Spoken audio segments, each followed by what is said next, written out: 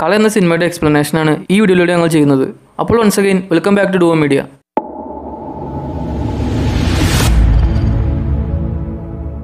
ആദ്യം തന്നെ എന്താണ് കള എന്ന് പറയാം. കൃഷിക്കിടയിൽ ആവശ്യമില്ലാതെ വളർന്നു വരുന്ന ഒരു തരം ചെടിയെയാണ് കള എന്നതുകൊണ്ട് ഉദ്ദേശിക്കുന്നത്. ഈ കള എന്ന ടൈറ്റിൽ ഈ സിനിമയിൽ പറയുന്ന വിഷയവുമായി എങ്ങനെയൊക്കെ കണക്ട് ആവുന്നു എന്നാൽ നമ്മളുടെയൊക്കെ ഉള്ളിലെ പല കാര്യങ്ങളും കള പോലെ പറിച്ചു കളയേണ്ട ഒന്നാണ്. അതുപോലെ ടോവിനോടെ കഥാപാത്രമായ ഷാജിയുടെ ഉള്ളിലെ ഈഗോ മെയിൽ ഡോമിനൻസ് നാർസിസിസ്റ്റ് സ്വഭാവത്തെയൊക്കെയാണ് കളയിലൂടെ പറിച്ചു കളയാൻ ശ്രമിക്കുന്നത്. ഇനി ഈ സിനിമയിലെ പ്രധാന കഥാപാത്രങ്ങളെ കുറിച്ച് പറയാം. ടൊവീന അവതരിപ്പിച്ച ഷാജി എന്ന കഥാപാത്രത്തിന് തുടക്കത്തിലെ ചില ഡയലോഗിലൂടെ തിരക്കഥാകൃത്ത് എസ്റ്റാബ്ലിഷ് ചെയ്യുന്നുണ്ട്. തുടക്കത്തിൽ തന്നെ മകനായ അപ്പുവിന്റെ ഹോർലിക്സ് എടുത്ത് ഷാജി കുടിക്കുമ്പോൾ അപ്പു കരയുന്നുണ്ട്. അപ്പോൾ ഷാജി അപ്പുവിനോട് പറയുന്നുണ്ട് ആണുങ്ങൾ കരയാൻ പാടില്ല. നിനക്കത് വേണമായിരുന്നെങ്കിൽ നീ അത് എന്നെ ഇടിച്ചു മേടിക്കണമായിരുന്നു എന്ന്.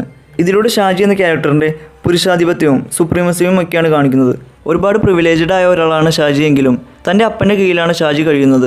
അപ്പനുള്ളപ്പോൾ തന്റേതായ ഒരു തീരുമാനവും സ്വന്തമായി എടുക്കാൻ കഴിയാത്ത ഒരാളാണ് ഷാജി. തന്റെ അപ്പന്റെ പണം കൊണ്ട് ഒരുപാട് ബിസിനസ്സുകൾ നടത്തി കളഞ്ഞെന്ന് പല സീനിലൂടെയും പറഞ്ഞു പോകുന്നുണ്ട്. കുടുംബത്തിലുള്ളവരോട് വരെ കടബാധ്യത ഉള്ള ഒരാളാണ് ഷാജി എന്ന കഥാപാത്രം. കള എന്ന സിനിമ എടുത്താൽ അതിൽ ഷാജി എന്ന കഥാപാത്രം പറയുന്ന ഭൂരിഭാഗം കാര്യങ്ങളും നുണയാണ്.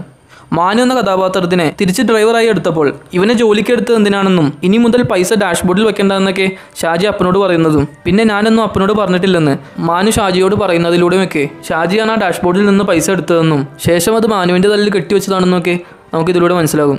പിന്നെ മണിയാശാന്റെ കൂട്ടുപിടിച്ച് അപ്പന്റെ കുരുമുളക് മുക്കാൻ നോക്കുന്നതും അതും ഷാജി അപ്പൻ ചോദിക്കുമ്പോൾ മണിയന്റെ തലയിൽ കെട്ടിവയ്ക്കാൻ നോക്കുന്നതും ഞാൻ വെള്ളപ്പുറത്ത് അറിയാതെ ചെയ്ത അബദ്ധത്തിലാണ് നിന്റെ പട്ടി ചത്തതെന്ന്. മൂറിന്റെ കഥാപാത്രത്തിനോട് പറയുന്നതുമെല്ലാം എടുത്താൽ തന്നെ മനസ്സിലാവും. ഷാജി ഒരു നുണയനും ചതിയനുമാണെന്ന്. ഷാജിയുടെ വീട്ടിൽ പണിക്ക് വരുന്നവരെ പാണ്ഡികളെന്നും അട്ടപ്പാടിയെന്നും എന്നുമൊക്കെ വിളിക്കുന്നതും ജന്മി സ്വഭാവത്തോടു കൂടിയും റേസിസം കൊണ്ടുമെല്ലാം പെരുമാറുന്നതും ഷാജിയുടെ സ്വഭാവത്തെ വരച്ചിടുന്നവയാണ്. ഷാജിയുടെ അച്ഛനായ രവി ആയാലും ഷാജി ആയാലും ആ രീതിയിൽ തന്നെയാണ് പെരുമാറുന്നത്. ഷാജി എന്ന കഥാപാത്രം എങ്ങനെയായത്? രവീന്ദ്രന്റെ സ്വഭാവം ആ രീതിയിലായതുകൊണ്ടാണ് അതുതന്നെയാവാം ഷാജി തന്റെ മകനെയും പഠിപ്പിക്കാൻ ശ്രമിക്കുന്നത്. മൂറിന്റെ കഥാപാത്രത്തിലേക്ക് വന്നാൽ തന്റെ നായയെ കൊന്നതിന് പ്രതികാരം വീട്ടാൻ വരുന്ന ആളായാണ് സിനിമയിൽ ആ കഥാപാത്രത്തെ കാണിക്കുന്നത്. വേണമെങ്കിൽ നമുക്ക് മൂറിന്റെ കഥാപാത്രത്തെ ഒന്ന് പ്രകൃതിയുമായി ഉപമിക്കാം. നമ്മളൊന്ന് ചിന്തിച്ചാൽ ശരിക്കും ഇവിടുത്തെ ജീവജാലങ്ങളെല്ലാം സ്വതന്ത്രമായി ജീവിക്കാൻ അനുവദിക്കാതെ നമ്മുടെ ഇഷ്ടത്തിന് പ്രകൃതിയെ നശിപ്പിച്ച് അവിടെ ഓരോന്ന് വെട്ടിപ്പിടിക്കുകയൊക്കെ ചെയ്ത് ഭൂമിയെ ഇല്ലായ്മ ചെയ്യുന്ന മനുഷ്യരല്ലേ ശരിക്കും ഈ ഭൂമിയിൽ നിന്ന് പറിച്ചു കളയേണ്ട യഥാർത്ഥ കള പ്രകൃതിയെ ചൂഷണം ചെയ്യുന്നവരെ ഷാജിയുടെ കഥാപാത്രമായി ഉപമിക്കാവുന്നതാണ്. വീട്ടിൽ വരുന്ന പണിക്കാരോടൊക്കെ ഒരു അടിമ എന്ന രീതിയിലാണ് ഷാജിയും രവിയും പെരുമാറുന്നതെന്ന് പറഞ്ഞല്ലോ. അതേ രീതിയിൽ തന്നെയാണ് പണിക്ക് വന്നിരിക്കുന്ന തമിഴന്മാരോട് മണിയാശാൻ പെരുമാറുന്നതും. ഇനി സിനിമയുടെ ക്ലൈമാക്സിലോട്ട് വരുമ്പോൾ ചില കാര്യങ്ങൾ പറഞ്ഞു വെക്കുന്നുണ്ട്. ഷാജി എന്ന കഥാപാത്രത്തിന് നായയോടൊക്കെ സ്നേഹമില്ലെന്ന് ഈ സിനിമ കാണുമ്പോൾ നമുക്ക് വ്യക്തമാണ്. നായകളോട് സ്നേഹമുണ്ടായിരുന്നെങ്കിൽ മൂറിന്റെ കഥാപാത്രത്തിന്റെ ബൗ എന്ന നായയെ കൊല്ലില്ലായിരുന്നു. ഷാജിയെ തന്റെ കൂട്ടുകാർ കുറ്റപ്പെടുത്തുന്നതിന്റെ ഫ്രസ്ട്രേഷനാണ് ആ നായയുടെ മേൽ തീർക്കുന്നത്. ആ നായ ഒരു ഫോറിൻ ബ്രീഡ് അല്ലാത്തതുകൊണ്ടും അതിനൊന്നും ഒരു വിലയില്ലെന്ന് ഷാജിയുടെ മനസ്സിലുണ്ട്. തന്റെ വീട്ടിൽ നായ ഒരു ഫോറിൻ ബ്രീഡ് ആയതുകൊണ്ട് തന്നെ ബ്ലാക്ക് എന്ന നായയെ ഷാജി വളർത്തുന്നത് തന്റെ പ്രിവിലേജിന്റെ ഒരു ഭാഗമായിട്ടാണ്.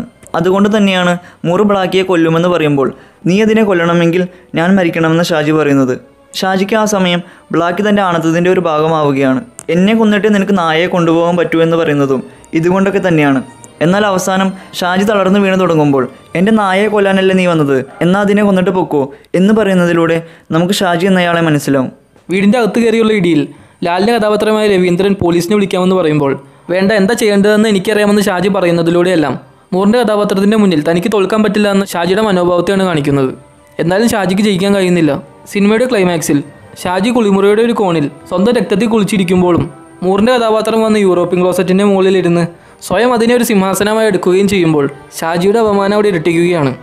തന്റെ കഷ്ടപ്പാടുകൾ അവസാനിപ്പിക്കാനുള്ള അവസാന നിമിഷത്തിന് വേണ്ടി ഷാജി ആഗ്രഹിക്കുമ്പോൾ പക്ഷെ നായകനായ മൂറിന്റെ കഥാപാത്രം ഷാജിയുടെ ജീവൻ വെറുതെ വിടുകയും ഷാജിയെ നാണം കെടുത്തുകയും ചെയ്യുന്നു.